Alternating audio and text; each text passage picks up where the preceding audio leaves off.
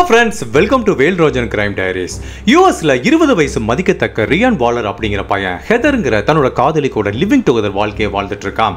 கிறிஸ்மஸை பயங்கரமாக செலிப்ரேட் பண்ணலாம் அப்படின்னு ரெண்டு பேர் மூணு நாள் அவங்க ஜாப் எல்லாத்துக்கும் லீவ் போட்டுட்டு ஜாலியாக என்ஜாய் பண்ணிட்டு இருக்காங்க. டிசம்பர் மாதம் இருபத்தி மூணாம் தேதி ரெண்டாயிரத்தி ஆறாம் வருஷம். ஒரு நாள் மதியம் லஞ்சை முடிச்சுட்டு ரெண்டு பேரும் ஜாலியாக லிவிங் ரூமில் உட்காந்து டிவி பார்த்துட்டு இருக்கும்போது திடீர்னு அவங்க வீட்டு கதவை யாரோ தட்டுற மாதிரி கேட்குது ரியான் உடனே எந்திரிச்சு போய் ஃப்ரண்ட் டோரில் பார்க்குறாரு ஃப்ரண்ட் டோரில் யாருமே இல்லை. பட் இன்னும் அந்த கதவு தட்டுற சத்தம் கேட்கப்பட்டு தான் ரியான் இப்போ புரிஞ்சுக்கிட்டாரு அவர் வீட்டோட பேக் டோரை யாரோ தட்டிட்டு இருக்காங்கன்னு. இது இவங்க ரெண்டு பேத்துக்குமே பயங்கர குழப்பமாயிருச்சு. இவங்க வீட்டுக்கு யார் வந்தாலும் ஃப்ரண்ட் டோர் தான் தட்டுவாங்க. இப்போ பேக் டோரை யாரா தட்டுறாங்க அப்படிங்கிற மாதிரி ரியான் ஒரு குழப்பத்தோடைய போயிட்டு பேக் டோரை திறந்ததுக்கு அப்புறம் இவங்க ரெண்டு பேத்துக்கும் என்ன நடந்தது அப்படிங்கிறது நம்ம கற்பனைக்கும் அப்பாற்பட்டது. வாழ்க்கையில ஒரு செகண்ட் ஒரு நிகழ்வு ஒருத்தவங்க வாழ்க்கையை மாற்றும் அப்படிங்கிற மாதிரி கேள்விப்பட்டிருப்போம். அதுக்கு இன்னைக்கு நம்ம பார்க்க போற சரியான உதாரணம். இந்த இன்சிடென்ட்டுக்கு அப்புறம் இவங்க இவங்களோட வாழ்க்கை எப்படி மாறி போச்சு அப்படிங்கிற ஒரு really really heart breaking true crime கேஸை பத்தா இன்னைக்கு நம்ம இந்த வீடியோவில் பார்க்க போறோம். மேலும் இந்த வீடியோக்குள்ள போறதுக்கு முன்னாடி உங்க டைம் டூ செகண்ட்ஸ் எனக்காக ஸ்பெண்ட் பண்ணி இந்த வீடியோவை லைக் பண்ணிட்டு என்னோட சேனலை இது வரைக்கும் நீங்க சப்ஸ்கிரைப் பண்ணாமல் பார்த்தீங்கன்னா மறக்காமல் சப்ஸ்கிரைப் பண்ணி என்ன சப்போர்ட் பண்ணுங்க. மேலும் நான் இன்னொரு ஃபேக்ட்ஸ் வித் வேல் அப்படிங்கிற பேரில் ஒரு செகண்ட் சேனல் ரன் பண்ணிட்டு இருக்கேன். அதோட லிங்கை இந்த வீடியோவோட டிஸ்கிரிப்ஷன்ல கொடுத்துருக்கேன். இந்த சேனலுக்கு நீங்க எப்படி ஆதரவு கொடுத்தீங்களோ அதே மாதிரி அந்த சேனலுக்கும் கண்டிப்பா ஆதரவு கொடுங்க. ஆயிரத்தி தொள்ளாயிரத்தி எண்பத்தி எட்டாம் வருஷம் யூஎஸ்ல டெனசி அப்படிங்கிற ஸ்டேட்டில் தான் இந்த ரியான் வாலர் பிறக்கிறாரு. சின்ன வயசுலேருந்தே அவருக்கு மியூசிக்கில் பெரிய லெவலில் ஏதாவது ஒன்று சாதிக்கணும் அப்படிங்கிறதுனால மியூசிக்கில் இருக்க ஆர்வத்தை கொஞ்சம் கொஞ்சமாக டெவலப் பண்ணிக்கிறாரு. தன்னோட ஸ்கூல் படிப்பு முடிச்சதுக்கப்புறம் ஹையர் ஸ்டடிக்காக அரிசோனாக்கு மூவ் ஆகிறாரு. அவரோட நீண்ட நாள் ஆசை என்ன அப்படின்னா ஒரு மிகப்பெரிய ராக் பேண்ட் ஆரம்பிச்சு மியூசிக்கில் கொடிகட்டி பறக்கணும் அப்படிங்கிற ஒரு நோக்கம் இந்த ரியான் வாலருக்கு இருந்திருக்கு. அவர் படிக்கிற காலேஜில் இருபத்தோரு வயசு மதிக்கத்தக்க ஹெதர் அப்படிங்கிற பெண்மணியை மீட் பண்ணுறாரு ரெண்டு பேத்துக்குமே பிடிச்சி போச்சு. காதலிக்க ஆரம்பிக்கிறாங்க டேட்டிங் பண்ணுறாங்க பண்றாங்க இவருக்கு மியூசிக்கில் சாதிக்கணும் அப்படிங்கிற மாதிரி இன்ட்ரெஸ்ட் இருக்குது பட் அவங்க காதலி ஹெதருக்கு மிகப்பெரிய லாயர் ஆகணும் அப்படிங்கிற மாதிரி இன்ட்ரெஸ்ட் இருக்குது இவங்க ரெண்டு பேர்த்தோட நோக்கமும் வாழ்க்கையில் ஆம்பிஷனும் வேறு மாதிரி இருந்தால் கூட அவங்க ரெண்டு பேர்த்தையும் ஒன்றா இணைச்சது அந்த காதல் தான். ஸோ பயங்கரமாக காதலிக்கிறாங்க. ஒரு ஸ்டேஜில் இந்த காதல் கல்யாணம் வரைக்கும் போகும் அப்படிங்கிற மாதிரி அவங்களுக்கு நம்பிக்கை இருக்குது தனித்தனியாக இருந்துட்டு வந்தவங்க ஒரு ஸ்டேஜில் ரொம்ப க்ளோஸ் ஆகப்பட்டு ஓகே நம்ம இனிமேல் ஒரு லிவிங் டுகெதர் வாழ்க்கையை ஆரம்பிக்கலாம் அப்படின்னு சொல்லிட்டு அரிசோனாவில் ஒரு வீடு எடுத்து ரெண்டு பேருமே தங்கியிருக்காங்க. ரெண்டாயிரத்தி ஆறாம் வருஷம் இந்த தம்பதிகள் கிறிஸ்மஸை ரொம்ப கிராண்டாக செலிப்ரேட் பண்ணலாம் அப்படிங்கிறதுக்காக அவங்க வேலை பார்க்குற இடத்துல இருந்து அவங்க படிச்ச இடத்துல இருந்து எல்லா இடத்துல இருந்தும் ஒன் வீக் லீவ் எடுத்துட்டு கிறிஸ்மஸ்க்காக பயங்கரமா பிளான் பண்ணிட்டு இருக்காங்க இவங்க எந்த ஊர்ல லிவிங் டுகெதரில் தங்கியிருக்காங்களோ அதே ஊரில் தான் இந்த ரியானோட அப்பா அம்மாவும் தங்கியிருக்காங்க. டிசம்பர் மாதம் இருபத்தி மூணாம் தேதி இந்த தம்பதிகள் ஒரு மதியம் சாப்பிட்டு முடிச்சதுக்கப்புறம் கொஞ்சம் ரிலாக்ஸாக உட்காந்து லிவிங் ரூமில் டிவி பார்த்துட்டு இருக்கும்போது திடீர்னு அவங்க வீட்டு கதவை யாரோ பயங்கரமாக தட்டுற மாதிரி சத்தம் கேட்குது. ஃபஸ்ட்டு ஃப்ரண்ட் டோர் தான் யாரோ தட்டுறாங்க அப்படின்னு நினச்சிட்டு போனவர் அங்கே யாரும் இல்லை அப்படிங்கிறதுனால பேக் டோரில் தான் யாரும் கதவை தட்டிட்டு இருக்காங்க அப்படிங்கிற மாதிரி புரிஞ்சுக்கிட்ட ரியான். கொஞ்சம் குழப்பத்தோட பேக் டோர் வழியாக யார் நம்ம வீட்டுக்குள்ளே வர முயற்சி பண்ணுறா அப்படின்ட்டு கதவை திறந்த அடுத்த நிமிஷமே அந்த வாசலில் ரெண்டு பேர் நின்றுட்டுருக்காங்க அதில் ஒருத்தன் கையில் துப்பாக்கியை வச்சுருக்கான். ஒரு நொடி கூட தாமதிக்காமல் ரியானை டைரெக்டாக துப்பாக்கி வச்சு சுட ஆரம்பிக்கும் போது ஒரு துப்பாக்கி கொண்டு ரியானோட இடது கண்ணில் புகுந்து அவனோட மூளையை சேதப்படுத்தினதில் அளவுக்கு அதிகமான ரத்தப்போக்கு வர ஆரம்பிக்குது. ரியான் அந்த இடத்துல அப்படியே சரிஞ்சு விழுந்துடுறான் துப்பாக்கி சத்தம் கேட்ட ஹாலில் உட்கார்ந்த ஹெதருக்கு பயங்கர ஷாக் ஆயிடுச்சு பட் இந்த ரெண்டு பேர் உடனே அந்த வீட்டுக்குள்ளே புகுந்து லிவிங் ரூமில் உட்காந்துட்டு இருந்த. ஹெதரோட தலையிலே துப்பாக்கி வச்சு ரெண்டு டைம் ஷூட் பண்ணுறாங்க ஹெதர் அந்த இடத்துல பரிதாபமாக இறந்து போயிறாங்க. இந்த ரெண்டு பேர் உடனே கதவை சாத்திட்டு அந்த இடத்துலேருந்து எஸ்கேப் ஆயிடுறாங்க இந்த இடத்துல அவங்க கொள்ளையும் அடிக்கலை ஹெதர்கிட்டையும் தவறாக நடந்துக்கல. பட் என்ன ரீசனுக்காக ரெண்டு பேரும் வந்து இந்த கொலையை பண்ணிட்டு போனாங்க அப்படிங்கிறது லேட்டர் பாயிண்ட் ஆஃப் டைம் தான் போலீஸுக்கு தெரிய வருது. இந்த இன்சிடென்ட் நடந்ததுக்கப்புறம் டிசம்பர் மாதம் இருபத்தி நாலாம் தேதி ரியானோட அப்பா ஏற்கனவே ரியான் கிட்ட என்ன சொல்லியிருந்தாரு? நீ கிறிஸ்மஸ்க்கு முந்தின நாள் நம்ம வீட்டுக்கு டின்னருக்கு சாப்பிட வரணும். ஹெதரை கூட்டிட்டு வந்துரு அப்படிங்கிற மாதிரி சொல்லியிருக்காரு. டிசம்பர் மாதம் இருபத்தி நாலாம் தேதி அவங்க அப்பா வெயிட் பண்ணி பார்க்குறாரு பார்க்குறாரு. இவர் வரவே இல்லை. ஃபோன் பண்ணால் ரீச் ஆக மாட்டேது. ஒன்றுமே புரியல. பிகாஸ் எப்போவுமே ரியான் இந்த மாதிரி இருக்க மாட்டார். கரெக்டாக பங்க்சுவலாக இருப்பார். பட் ஏன் வரலை அப்படின்னு அவங்க அப்பா குழப்பமாயி ஹெதருக்கு ஃபோன் பண்ணுறாரு ஹெதரும் ஃபோன் எடுக்க மாட்டேங்கிறாங்க. ஒருவேளை இவங்க ரெண்டு பேத்துக்கு ஏதாவது உடம்பு சரியில்லாம போயிருக்குமோ இல்லை ஏதாவது ஒரு ஆக்சிடென்ட் ஆயிருக்குமோ அப்படிங்கிற மாதிரி அவங்க அப்பா பதட்டப்பட்டு உடனே போலீஸ் டிபார்ட்மெண்ட்டுக்கு கால் பண்ணி இந்த மாதிரி என்னோட சன்னோட வீட்டில் போயிட்டு கொஞ்சம் வெல்ஃபேர் செக் பண்ணுங்க அப்படின்னு சொல்கிறாங்க பட் அப்போ கிறிஸ்மஸ்க்கு முந்தின நாள் அப்படிங்கிறதுனால போலீஸ் பயங்கர பிஸியாக இருக்காங்க. போலீஸ் சொன்னாங்க. ஜஸ்ட் ஒன்று இருக்காது. எங்களுக்கு ஒரு ஃபியூ ஹவர்ஸ் டைம் கொடுங்க. நாங்கள் போய் பார்க்குறோம் அப்படிங்கிற மாதிரி சொல்கிறாங்க ஸோ போலீஸ் எப்போ இந்த ரியானோட வீட்டுக்கு போகிறாங்களோ அப்போ அதே டயத்தில் ரியானோட அப்பா அம்மா ரெண்டு பேரும் அந்த ரியானோட வீட்டுக்கு வர்றாங்க. அந்த வீடே வெளியிலேருந்து பார்க்கும்போது நிசப்தமாக இருக்குது வீட்டுக்குள்ளே எந்த லைட்டும் மாரியில் அப்படி இருள் மூழ்கி அமைதியாக இருக்குது இப்போ போலீஸ் ஃப்ரண்ட் டோர் வழியாக கதவை தட்டி பார்க்குறாங்க. எந்த ரெஸ்பான்ஸும் இல்லை. அப்போது ஒரு போலீஸ் ஆஃபீஸர் என்ன பண்ணுறாரு ஒரு ஜன்னல் திரை லேசாக விலகி இருக்கு. அப்போது அந்த ஜன்னல் கண்ணாடி ஜன்னல் வழியாக டார்ச் லைட் அடித்து பார்க்கும்போது அங்கே இறந்து போன ஹெதரோட உடலை பார்த்துட்டு பயங்கர ஷாக் ஆகிட்டாரு உடனே அவங்க அப்பா அம்மாட்ட சொல்கிறாரு உள்ளே கண்டிப்பாக ஒருத்தவங்க மயக்கம் போட்டு கிடக்கிற மாதிரி தெரியுது. அவங்க உயிரோட இருக்காங்களா இல்லையான்னு தெரியல. உடனே நம்ம பேராமெட்ரிக் டீமுக்கு கால் பண்ணணும் அப்படின்னு சொல்லிட்டு பேராமெட்ரிக் டீமுக்கு இன்ஃபார்ம் பண்ணுறாங்க பட் அதே டயத்தில் இந்த போலீஸ் ஆஃபீஸர் என்ன பண்ணியிருக்கலாம் உள்ள கதவை உடைச்சிட்டு போயிட்டு அந்த தரையில் படுத்திருக்க நபர் உயிரோட இருக்காரா இல்லையா அப்படிங்கிறத செக் பண்ணிருக்கலாம். பட் இந்த போலீஸ் ஆஃபீஸர் என்ன பண்ணுறாரு இந்த வீட்டுக்குள்ளே நான் போகிறதுக்கு எனக்கு வேரண்ட் வேணும். இல்லைன்னா நான் பிரச்சனையில் மாட்டிப்பேன் அப்படிங்கிற மாதிரி சொல்லி வேரண்ட் அப்ளை பண்ணியிருக்காரு ஜென்ரலாக போலீஸ் ஆஃபீஸருக்கு இந்த மாதிரி ஒரு சுச்சுவேஷன் கிரைம் சீனில் தாராளமாக அவங்க வீட்டுக்குள்ளே போகிறதுக்கு ஆக்சஸ் இருக்கு. பிகாஸ் இன்கேஸ் யாராவது ஒருத்தவங்க உயிரோட இருந்தால் அவங்க உயிர் காப்பாற்றப்படலாம். பட் இந்த போலீஸ் ஆஃபீஸர் என்ன நினைச்சாருன்னு தெரியல. வேரண்ட்டுக்கு அப்ளை பண்ணிட்டு நாலு மணி நேரம் வெயிட் பண்ணிட்டு இருக்காரு ஃபைனலாக வேரண்ட் வருது. அதுக்கப்புறம் கூட ஒரு பத்து போலீஸ் ஆஃபீஸர் வர்றாங்க.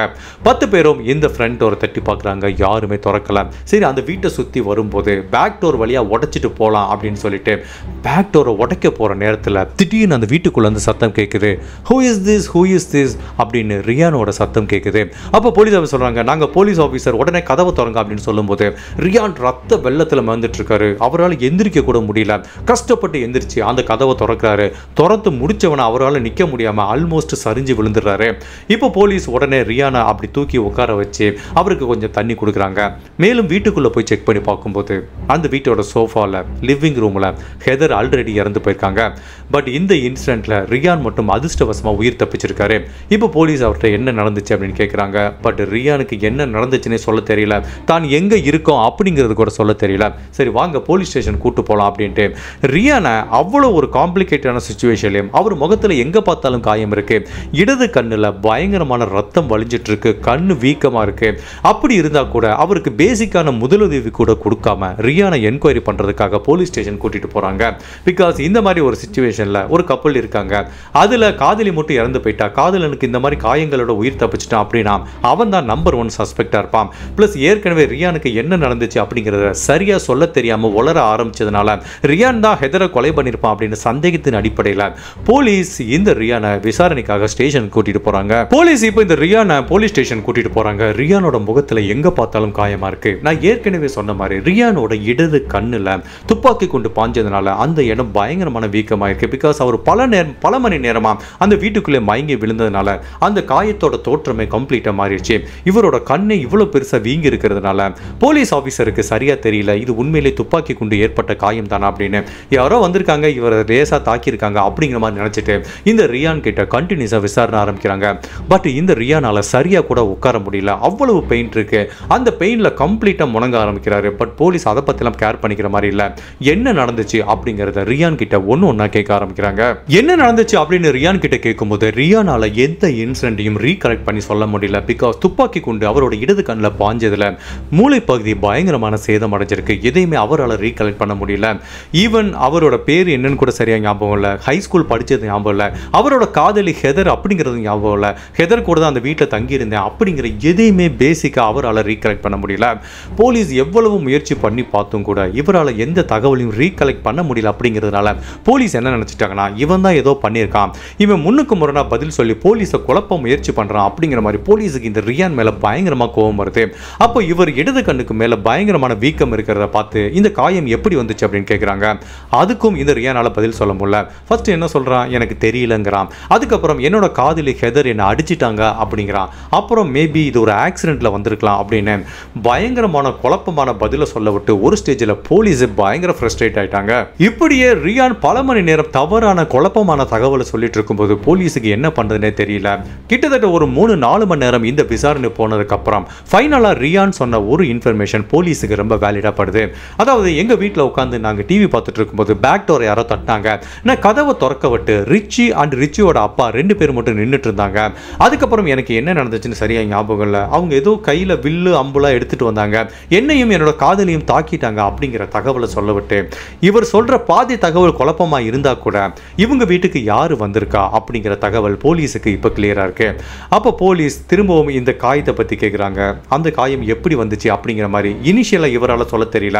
பட் இப்போ கொஞ்சம் கொஞ்சமாக ரீகலெக்ட் பண்ணிட்டு ரியான் என்ன சொல்கிறாருன்னா இந்த காயம் என்னோட கண்ணில் துப்பாக்கியை வச்சு சுட்டதுனால வந்தது அப்படின்னு சொல்ல விட்டு போலீஸ் பயங்கர கடுப்பாயிட்டாங்க. என்ன காமெடி பண்றியா? துப்பாக்கி குண்டு பாஞ்சா அதில் அந்த தடயம் இருக்கும். உன்னோட கண்ணில் துப்பாக்கி குண்டு பாஞ்சதுக்கு ஒரு எந்த தடயமும் இல்லையே அப்படின்னு இந்த ரியான் திரும்ப திரும்ப சொல்றாரு. பட் யாருமே அதை நம்புறதுக்கு ரெடியா இல்ல. என்னடா கண்ணுக்குள்ள துப்பாக்கி குண்டு பாஞ்சிருச்சுங்கிற அதுக்குரிய எந்த தடயமும் இல்லையா? அப்படிங்கிற மாதிரி போலீஸ் ஆஃபீஸர் அதை நம்பல. பிகாஸ் கண் ரொம்ப வீக்கமா இருக்கு. பட் இருந்தாலும் இவ்வளோ இவ்வளவு தூரம் சொல்றானே அப்படின்னு அவனோட இடது கண்ணுக்கு பின்னாடி பார்த்த போலீஸ் பயங்கர ஷாக் ஆயிட்டாங்க. துப்பாக்கி குண்டு பாஞ்சதுக்கு ஒரு தடயம் இருக்கு. துப்பாக்கி குண்டு பாஞ்ச ஒரு நபர் அதுவும் கண்ணுக்கு பின்னாடி துப்பாக்கி குண்டு இருக்கிற ஒரு நபரை அவரோட அனுமதி இல்லாமல் இவ்வளவு கொடுமைப்படுத்தி ஆறு மணி நேரம் விசாரிச்சுட்டு இருந்திருக்குமே அப்படின்னு ஷாக்கான போலீஸ் உடனே பேராமெடிக் டீமுக்கு சொல்றாங்க. அவங்க உடனே இவர் எமர்ஜென்சி வார்டில் அட்மிட் பண்றாங்க. என்ன நடந்திருக்குன்னா இடது கண்ணுக்கு பின்னாடி பாஞ்ச துப்பாக்கி குண்டு இவர் கண்ணுக்கு பின்னாடி ஸ்ட்ரக் ஆயிருக்கு. பல மணி நேரம் இந்த துப்பாக்கி குண்டு இந்த ரியானோட உடம்புல இருந்ததுனால அவரோட கண்ணு ஃபுல்லாகவே இன்ஃபெக்ட் ஆயிடுச்சு கண்ணு மட்டுமல்ல அந்த இன்ஃபெக்ஷன் கொஞ்சம் கொஞ்சமாக மூளை பகுதிக்கு போய் அவரோட சுயநினைவை கொஞ்சம் கொஞ்சமாக இழக்க வச்சிருக்கு. அதனால தான் போலீஸுக்கு சரியாக இந்த ரியானால் ஒத்துழைப்பு கொடுக்க முடியல. ஒரு நீண்ட போராட்டத்துக்கு அப்புறம் ஃபைனலாக அந்த துப்பாக்கி குண்டை எடுக்கிறாங்க. பட் அன்ஃபார்ச்சுனேட்டாக அந்த துப்பாக்கி குண்டு பல மணி நேரம் ரியானோட உடம்புல இருந்ததுனால அவரோட கண் கருவிலியவே கம்ப்ளீட்டாக டேமேஜ் பண்ண பண்ணதுனால ரியானோட இடது விழி கம்ப்ளீட்டாக பார்வை இழந்து போகுது. அது மட்டும் இல்லாமல் இந்த இன்ஃபெக்ஷன் அவரோட மூளை வழியாக ஸ்ப்ரெட் ஆனதுனால அவரோட மூளையில் வாழ்க்கை ஃபுல்லாக ஒரு மிகப்பெரிய பாதிப்பு இருக்கும் அப்படிங்கிற மாதிரி டாக்டர் சொல்கிறாங்க கிட்டத்தட்ட முப்பத்தஞ்சு நாள் ட்ரீட்மெண்ட்டுக்கு அப்புறம் தன்னோட இடது கண்ணை இழந்ததுக்கு அப்புறம் தன்னோட மூளையில் ஒரு பகுதியை இழந்ததுக்கு அப்புறம் தன்னோட வாழ்க்கையை ஒரு மிகப்பெரிய கேள்விக்குறியோட வாழ்க்கை ஃபுல்லாக இனிமேல் நம்ம வாழ்க்கை கஷ்டமாக தான் இருக்கும் அப்படிங்கிறத புரிஞ்சுக்கிட்ட ரியான். ஃபைனலாக ஹாஸ்பிட்டல்லேருந்து டிஸ்சார்ஜ் ஆகி வீட்டுக்கு போகிறான் பட் அவர் இன்னும் எவ்வளோ நாள் உயிரோடு இருப்பார் அப்படிங்கிறத டாக்டர்ஸால் சொல்ல முடியல. அவரோட மூளையும் டேமேஜ் ஆயிடுச்சு அவரோட கண்ணில் நிறைய பகுதியும் இன்னுமே டேமேஜாக இருக்கிறதுனால இந்த ரியானை கவனமாக பார்த்துக்கணும். இன்கேஸ் அவருக்கு இடது கண் பக்கம் துப்பாக்கி குண்டு பாஞ்ச அந்த பக்கத்தில் ஏதாவது ஒரு ஒரு காயம் ஏற்பட்டுச்சுன்னா அவரோட உயிருக்கு மிகப்பெரிய ஆபத்து இருக்குது அப்படிங்கிற மாதிரி டாக்டர்ஸ் அவங்க அம்மா அப்பாட்ட சொல்லி கொஞ்சம் கவனமாக பார்த்துக்கோங்க அப்படின்னு சொல்லி தான் வீட்டுக்கு அனுப்பி வைக்கிறாங்க. இப்போ இந்த ரியானையும் அவங்க காதலி ஹெதரையும் யார் இந்த மாதிரி பண்ணது அப்படின்னு போலீஸ் விசாரிக்கும் போது ரியான் சொன்ன தகவலை வச்சு விசாரிக்கிறாங்க. ரிச்சி அப்படிங்கிற அந்த நபர் யார்? ரிச்சியோட அப்பா யார் அப்படின்னு விசாரிக்கும் போது ரியான் அண்ட் ஹெதர் தங்கியிருந்த இந்த வீட்டில் அவங்க வாடகைக்கு தான் தங்கியிருக்காங்க. இதுக்கு முன்னாடி ரிச்சி அப்படிங்கிற ஒரு நபர் தான் தங்கியிருக்காரு. ரியானுக்கும் ரிச்சிக்கும் அவ்வளோ பழக்கம் கிடையாது. But one or two times Richie இந்த வீட்டுக்கு வந்திருக்கான். தன்னோட பழைய திங்ஸ் எல்லாத்தையும் எடுத்துகிட்டு போகிறதுக்காக வந்திருக்கான். அதனால தான் ரியானுக்கு இந்த ரிச்சி யாருன்னே தெரிஞ்சிருக்கு. சம்பவம் நடந்தப்போ ரிச்சி தன்னோட அப்பா கூட வந்துட்டு இந்த வீட்டுக்கு ஏதோ ஒரு பொருளை கொள்ளையடிச்சிட்டு போகணும் அப்படிங்கிற நோக்கத்துக்காக வந்திருக்கலாம். அப்போ இவங்க ரெண்டு பேரும் இருக்கிறத பார்த்து ஷாக் ஆகி என்ன பண்ணுறதுன்னு தெரியாமல் இவங்களை கொலை பண்ணியிருக்கலாம் அப்படிங்கிற மாதிரி திங்க் பண்ண போலீஸ் இப்போ இந்த ரிச்சியை அரெஸ்ட் பண்ணி ஸ்டேஷனுக்கு கூட்டிட்டு வராங்க. அவங்க அப்பா லேரி அப்படிங்கிற நபரையும் அரெஸ்ட் பண்ணி கூட்டிட்டு வராங்க. அப்போ ரிச்சி தான் பற்ற குற்றம் எல்லாத்தையும் கன்ஃபெஷன் பண்ணிக்கிறான். எஸ் அந்த வீட்டில் நான் முன்னாடி இருந்தேன். அந்த வீடு எனக்கு ரொம்ப பரிச்சயமானது. ஸோ அந்த வீட்டில் ஏதாவது ஒரு பொருளை திருடிட்டு போகலாம் அப்படிங்கிற நோக்கத்துக்காண்டி தான் நான் பேக் டோரை பிரேக் பண்ணுறதுக்காக ட்ரை பண்ணும்போது அந்த வீட்டுக்குள்ள ரெண்டு பேர் இருக்காங்க அப்படிங்கிறது எனக்கு தெரியல. திடீர்னு உள்ள இருந்து ஒரு நபர் கதவை திறக்க விட்டு எனக்கு என்ன பண்ணுறதுன்னு தெரியல. அந்த பதட்டத்தெல்லாம் கையில் வச்சு இந்த துப்பாக்கி வச்சு ரியானை சுட்டேன். அதுக்கப்புறம் தான் வீட்டுக்குள்ள ஹெதர் இருக்கிறத பார்த்தாங்க. அவங்கள உயிரோட விட்டா தான் மாட்டிப்போம் அப்படிங்கிற மாதிரி ஹெதரையும் நான் கொலை பண்ணேன். இந்த கொலைக்கு என்னோட அப்பா லேரி கூட என் கூட வந்தாரு அப்படிங்கிற மாதிரி எல்லா தகவலையும் போலீஸ் கிட்ட சொல்றான். ஹெதரை கொலை பண்ணது அதுக்கப்புறம் ரியானை கொலை பண்ண முயற்சி பண்ண குற்றத்துக்காக இந்த ரிச்சியை போலீஸ் அரெஸ்ட் பண்றாங்க. அதுக்கு உடந்தையா இருந்த அவங்க அப்பாவையும் அரெஸ்ட் பண்றாங்க. ஸோ இந்த கேஸோட வழக்கு கோர்ட்டுக்கு ட்ரையலுக்கு போகும்போது கண்டிப்பா ரிச்சிக்கு தண்டனை கிடைக்கும். அதுல எந்தவித சந்தேகமும் கிடையாது. பிகாஸ் அவன் தான் அந்த கொலை பண்ணியிருக்கான். அவங்க அப்பா மேலேயும் போலீஸ் வழக்கு பதிவு பண்றாங்க. ஸோ ரிச்சியோட அம்மா அதாவது இந்த லேரியோட ஒய்ஃப் கோர்ட் கோர்ட்டில் ஒரு மிக முக்கியமான சாட்சியை பதிவு பண்ணுறாங்க என்னோட கணவர் இந்த இன்சிடென்ட்டுக்கு அப்புறம் வீட்டுக்கு வந்து என்கிட்ட தான் பண்ண குற்றத்தை கன்ஃபெஷன் பண்ணிக்கிட்டாரு. அதாவது நானும் ரிச்சியும் அந்த வீட்டுக்கு ஏதாவது திங்ஸை கொள்ளையடிக்கலாம் தான் போனோம். பட் அன்ஃபார்ச்சுனேட்டாக அந்த வீட்டில் இந்த ரெண்டு பேரை நாங்கள் கொலை பண்ணுற மாதிரி ஒரு சூழ்நிலை வந்துருச்சு. அந்த ப்ராசஸ் ஃபுல்லாகவே நான் கூட இருந்தேன். ரிச்சிக்கு உதவி செஞ்சேன் அப்படிங்கிற மாதிரி. தன்னோட கணவர் என்கிட்ட கன்ஃபெஷன் பண்ணிக்கிட்டாரு அப்படிங்கிற மாதிரி கோர்ட்டில் ஒரு சாட்சி சொல்கிறாங்க பட் இதில் ஒரு பிரச்சனை என்ன அப்படின்னா இந்த மாதிரி ஒரு கொலை வழக்குலையோ எந்த வழக்குலையோ ஒரு கணவன் மனைவிக்கு எதிராகவோ மனைவி கணவனுக்கு எதிராகவோ சொல்லப்படுற சாட்சியை கோர்ட்டில் ஏற்றுக்க மாட்டாங்க. அதுக்கு சட்டத்தில் இடமில்லை. அதனால் மனைவி இவங்க சொன்ன சாட்சியை பேஸ் பண்ணி லாரிக்கு எங்களால் தண்டனை வாங்கி தர முடியாது அப்படின்னு சொல்லிட்டு லாரியை ஆல்மோஸ்ட் இந்த வழக்கில் இருந்து ரிலீஸ் பண்ணிடுறாங்க. இதை கேள்விப்பட்டவன ஹெதரோட அப்பா அம்மாவுக்கு பயங்கர ஷாக் ஆயிடுச்சு. ரிச்சிக்கு தண்டனை கிடைக்க போகிறது உறுதி பட் லாரிக்கும் அதே அளவு தண்டனை கிடைக்கணும். இப்போ அவனை போய் ரிலீஸ் பண்ணிட்டாங்களே அப்படின்னு சொல்லிட்டு பயங்கரமான சட்ட போராட்டம் பண்ண ஆரம்பிக்கிறாங்க. அப்படி நீண்ட போராட்டத்துக்கு அப்புறம் இறந்து போன ஹெதரோட பேர்லேயே அமெரிக்காவில் புதுசாக ஒரு சட்டம் ஏற்றுறாங்க அதுக்கு பேர் ஹெதர்ஸ் லா அப்படிங்கிற மாதிரி வைக்கிறாங்க.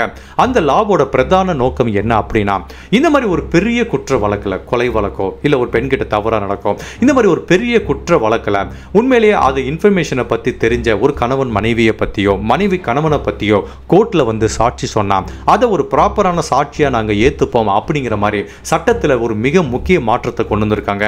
அதுக்கு ஹெதர்ஸ் லா அப்படிங்கிற மாதிரி பேர் வச்சுருக்காங்க. இப்போ சட்டத்தில் இந்த மாற்றம் பண்ண விட்டு இந்த கொலைக்கு லேரியும் உடந்தையாக இருந்ததை பற்றி அவங்க மனைவி கிட்ட அவர் கன்ஃபெஷன் பண்ணார். அவங்க மனைவி இதை பற்றி ஏற்கனவே கோர்ட்டில் சாட்சி சொன்னதுனால இந்த வழக்கில் ஃபைனலாக திரும்ப லேரியை போலீஸ் அரெஸ்ட் பண்ணுறாங்க இவங்க ரெண்டு பேரோட கேஸ் கோர்ட்டுக்கு ட்ரையலுக்கு போகுது. ஃபைனலாக ஹெதரை கொலை பண்ணது. ரியானை கொலை பண்ண முயற்சி பண்ண குற்றத்துக்காக இந்த ரிச்சிக்கு பரோல்ல வெளிவர முடியாத மாதிரி ஆயுள் தண்டனை கொடுக்குறாங்க. மேலும் ரிச்சியோட அப்பா லேரியை அரெஸ்ட் பண்ணதில் அவரும் குற்றவாளி அப்படின்னு சொல்லி நிரூபிக்கப்பட்டு அவர் மேலே கொலை வழக்கு கொலை முயற்சி வழக்கு வீட்டுக்குள்ளே புகுந்து கொள்ளையடிக்கப்பட்ட வழக்கு அப்படின்னு பல வழக்கில் இந்த லேரியும் குற்றவாளி அப்படின்னு சொல்லி உறுதி செய்யப்பட்டு இவருக்கும் பரோல வெளிவர முடியாத மாதிரி ஆயுள் தண்டனை கொடுக்குறாங்க. இப்போ ரியானோட அப்பா அம்மா என்ன பண்றாங்க? போலீஸ் டிபார்ட்மெண்ட் மேல ஒரு லா சூட் ஃபைல் பண்றாங்க. என்னோட பையனோட கண்ணுல இடது பக்கமா ஒரு துப்பாக்கி குண்டு பாஞ்சதை கூட ஒரு போலீஸ் ஆபீசர் கவனிக்காம மனிதாபிமானம் இல்லாம ஆறு மணி நேரம் போலீஸ் ஸ்டேஷன்ல வச்சு விசாரிச்சதுனால தான் அந்த துப்பாக்கி குண்டு பல மணி நேரம் என்னோட பையனோட உடம்புல இருந்ததுனால தான் இன்ஃபெக்ஷன் அதிகமாகி என்னோட பையனோட ஒரு கண்ணும் போயிருக்கு மூளையும் பல மாதிரி டேமேஜ் ஆயிருக்கு.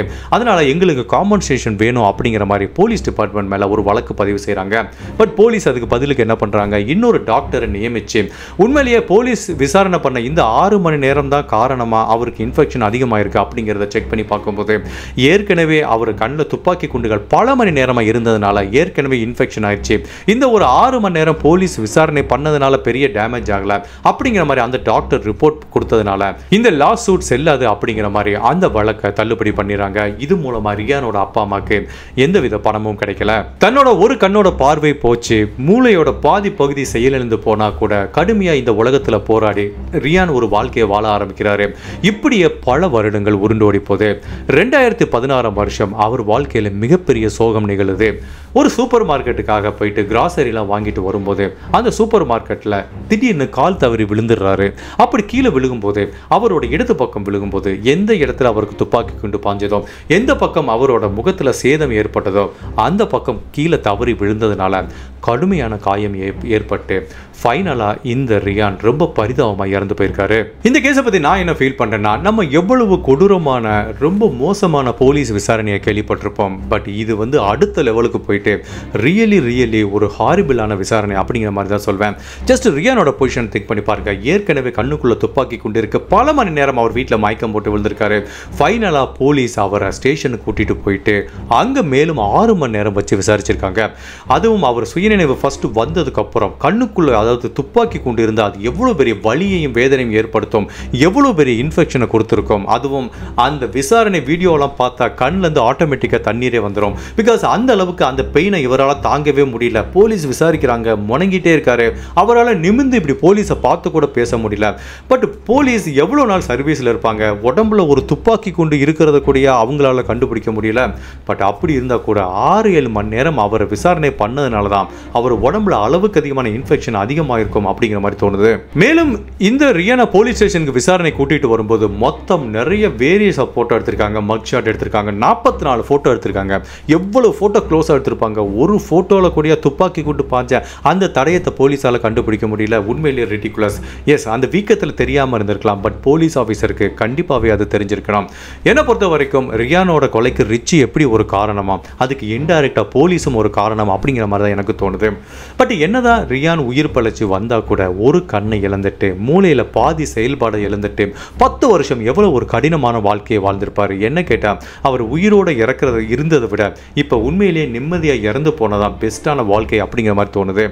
நம்ம திங்க் பண்ணி பார்ப்போம். வாழ்க்கையில் ஒரு செகண்ட் ஒருத்தவங்களோட வாழ்க்கையை எப்படி மாற்றுறது? நான் நிறைய கேசஸ் சொந்தக்காரங்க எல்லா பேரும் பார்த்துருக்கேன். ஒரு நல்லா இருந்துட்டு வருவாங்க. திடீர்னு ஒரு ஆக்சிடென்ட் ஒருத்தவங்க வாழ்க்கையை மாற்றிடும் அந்த மாதிரி தான் ரியானுக்கு நடந்த இந்த ஒரே ஒரு துப்பாக்கி குண்டு அவரோட வாழ்க்கையை மாற்றி எழுதியிருக்கு. உண்மையிலேயே இந்த கேஸை படித்து முடிக்கும்போது ரியான் மேலே ஒரு மிகப்பெரிய பரிதாபமான உணர்வு வரதான் செய்யுது. இந்த கேஸை பற்றி நீங்கள் என்ன நினைக்கிறீங்க? உங்களோட கருத்தை மறக்காமல் இந்த வீடியோவில் பதிவு பண்ணுங்கள் இந்த மாதிரி அனதர் கேஸில் உங்களை சந்திக்கிறேன். டில் தான் பாய்